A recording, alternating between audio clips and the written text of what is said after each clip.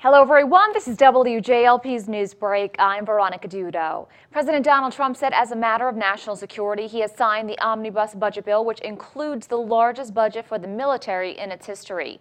The massive spending bill was needed to avert a government shutdown at midnight. According to authorities, Andre Beam has been charged in connection to a February shooting in Paterson. The 45 year old has turned himself into police after being identified as the suspect.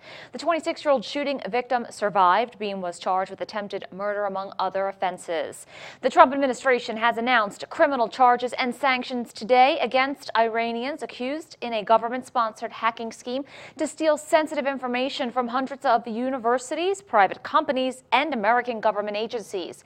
Officials say the nine defendants accused worked at the request of the Iranian government tied Islamic Revolutionary Guard Corps.